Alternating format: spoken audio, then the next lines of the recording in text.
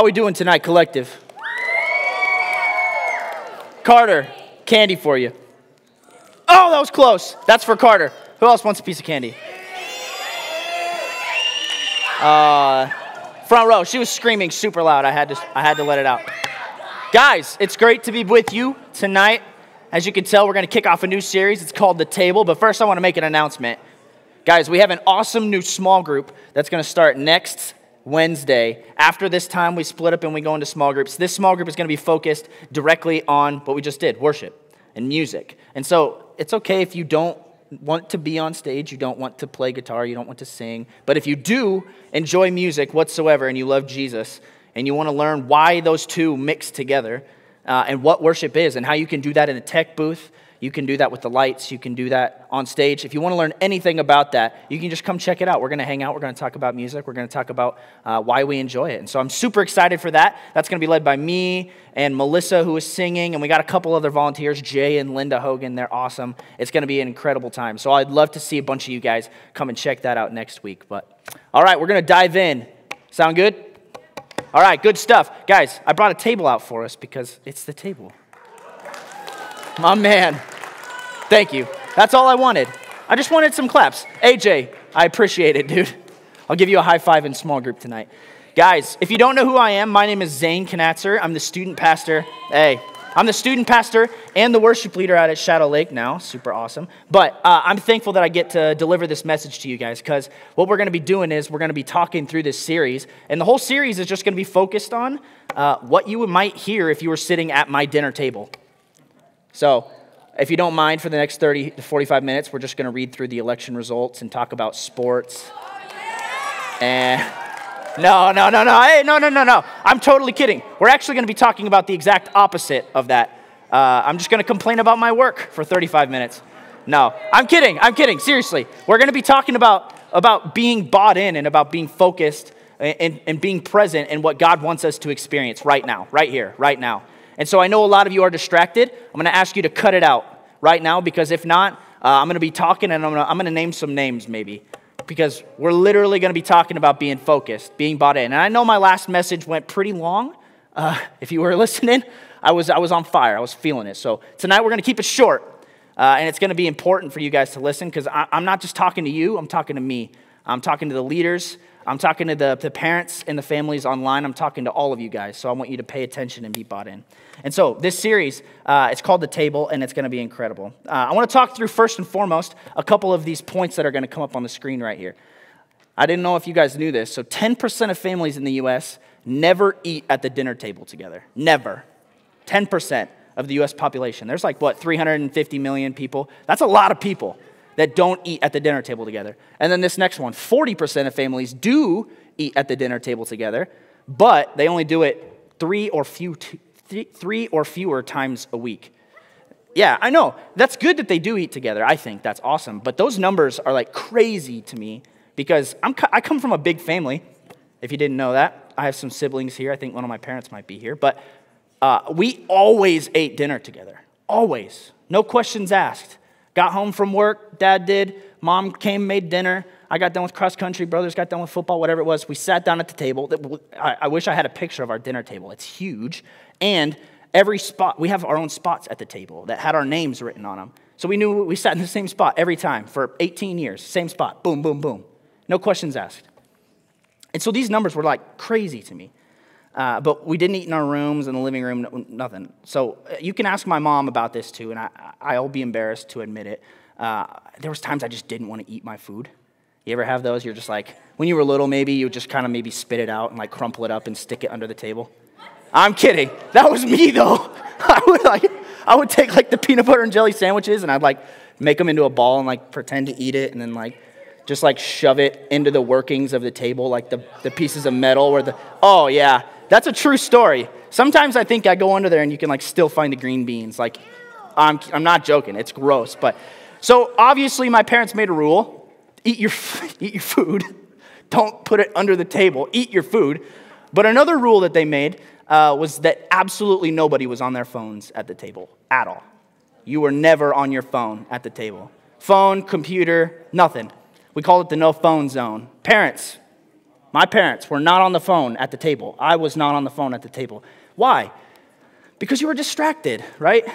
You're only at the dinner table for so long. And, and, and in culture, in the American culture and history, the dinner table has been a sacred place, right? It's been a place where, where families come together, they grow together.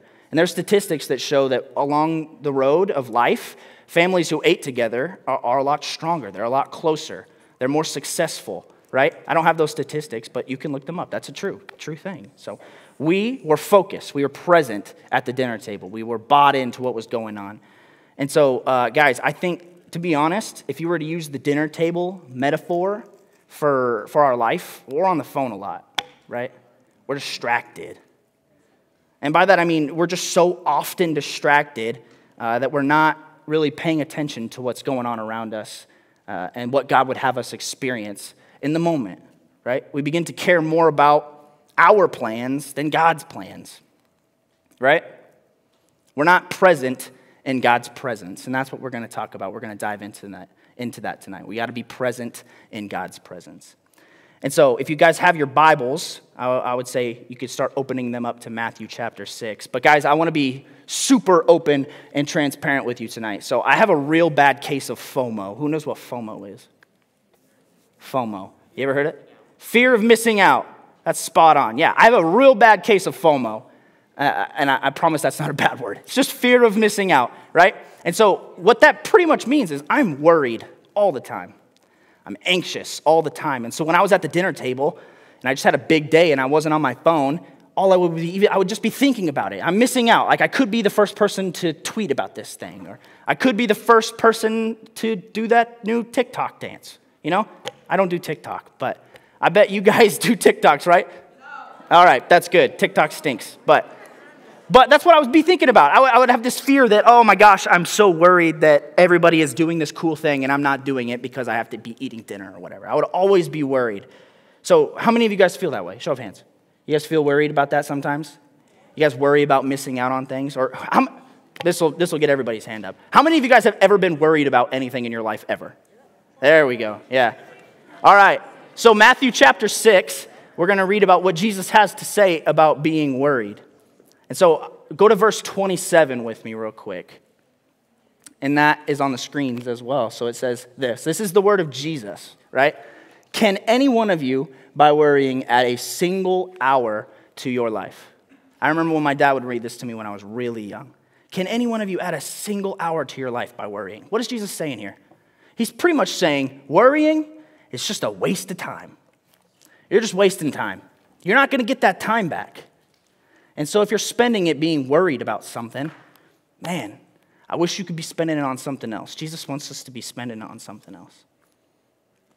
And so Jesus follows that up in verse 34, and he says something a little bit more encouraging for us, right? Therefore, do not worry about tomorrow, for tomorrow will worry about itself. Each day has enough trouble of its own. You see, by worrying about tomorrow, what we might eat, what we might drink, that's what Jesus says, what we might wear, I worry about what I wear all the time. We're wasting the time that God has given us right now.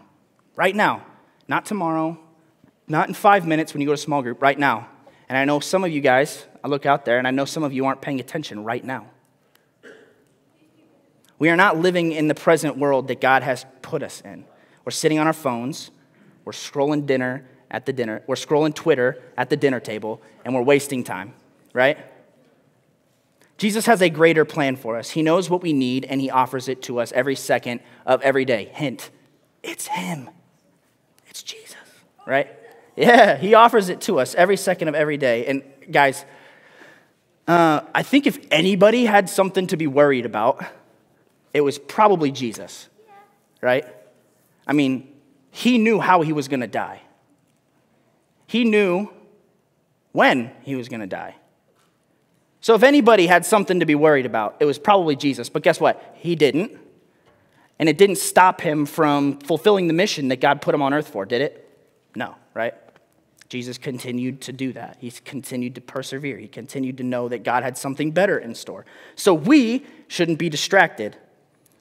And we shouldn't be so worried that we push pause on what God wants us to do right now. After all, Matthew 6 30 1 through 32 says that our Heavenly Father knows everything that we need. Philippians 4:19 tells us that God supplies our every need. Psalm 34 tells us that if we seek the Lord, we lack no good thing. And Matthew 11, 29 paints a beautiful picture for us that Jesus wants to shoulder our burden. He wants to take it with us, He wants to take it off our shoulder and carry it Himself.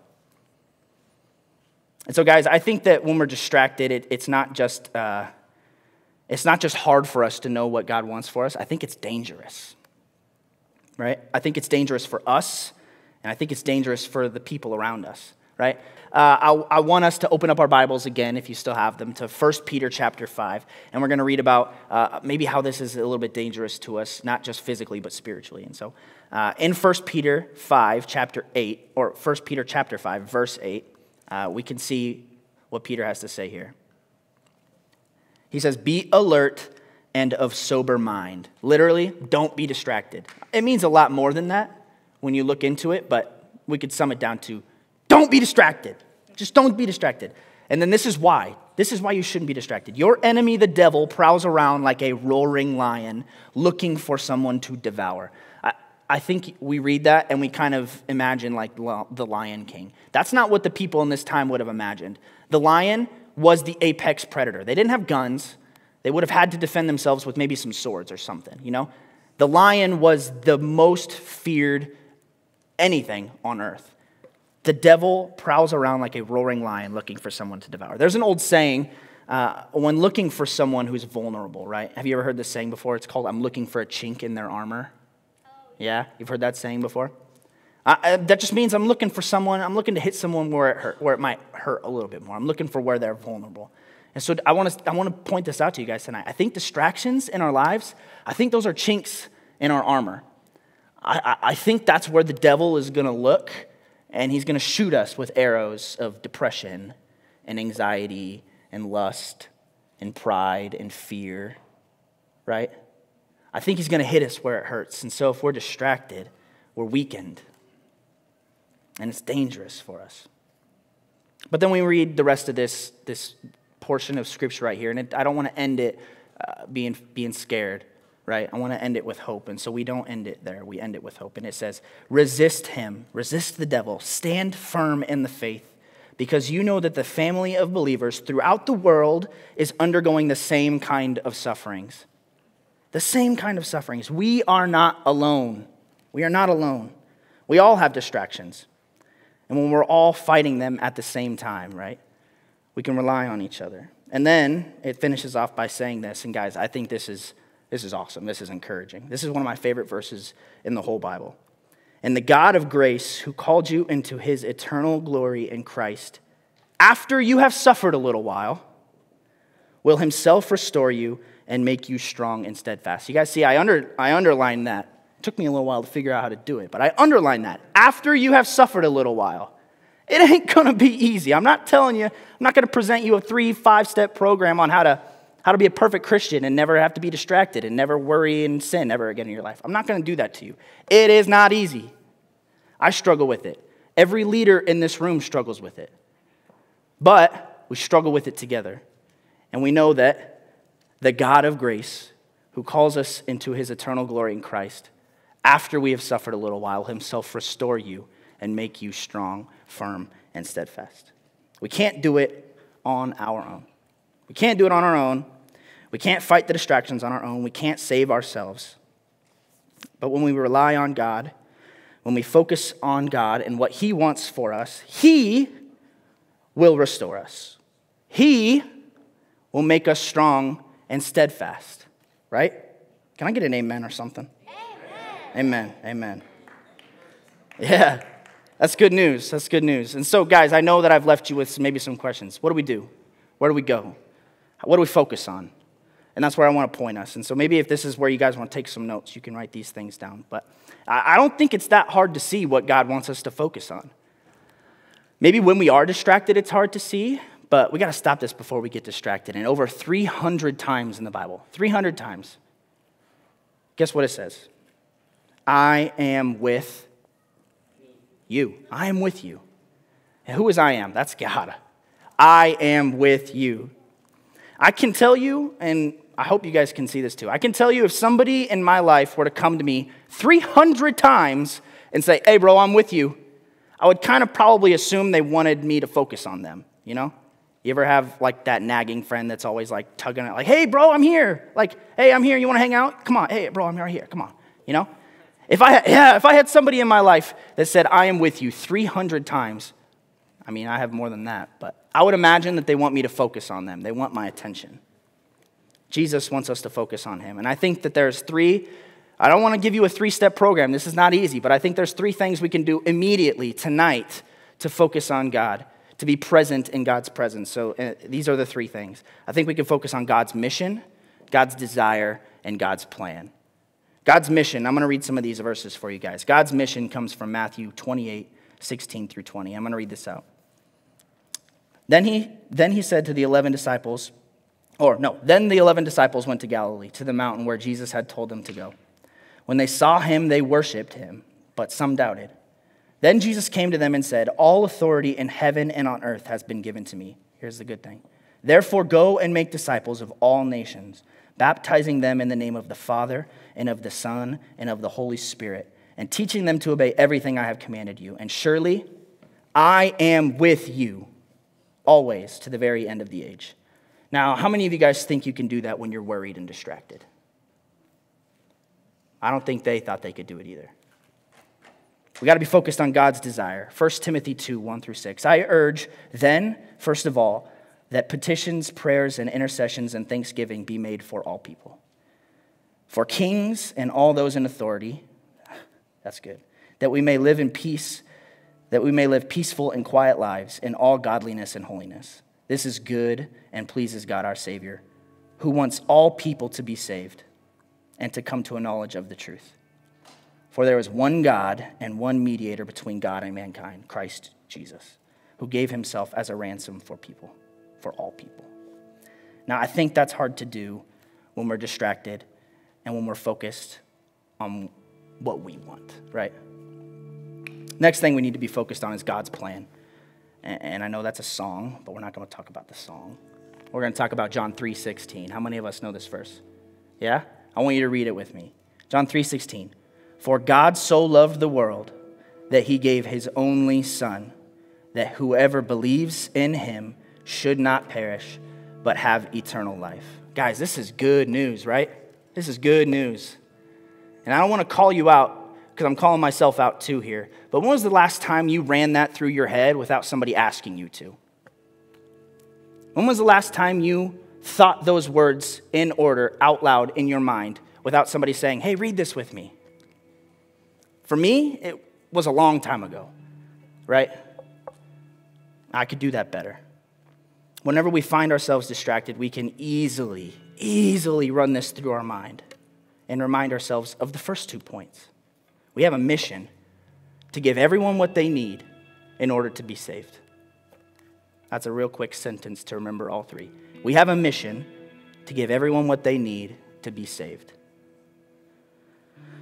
And guys, I want to I want to point out one cool thing that I, I heard when I was in college. I think it was from a professor. I can't remember their name, so if they're if they're watching this somehow, some way, I'm sorry.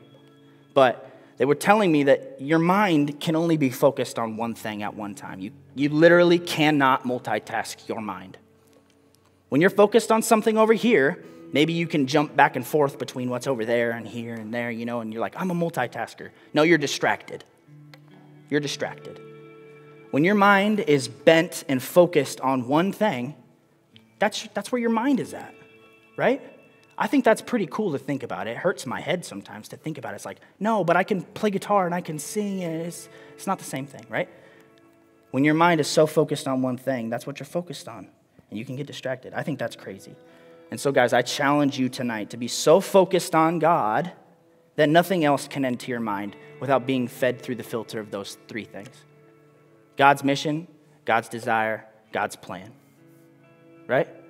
Be present in God's presence. Be present in God's presence. I love you guys. I'm super thankful I got to, to kick this off with you tonight. But it's not just tonight. It's not just tomorrow when you guys go back to school, when I come back to work. It's a, it's a long road. And so I'm going to be here with you, suffering like we hear in Peter, but we can do it together, all right?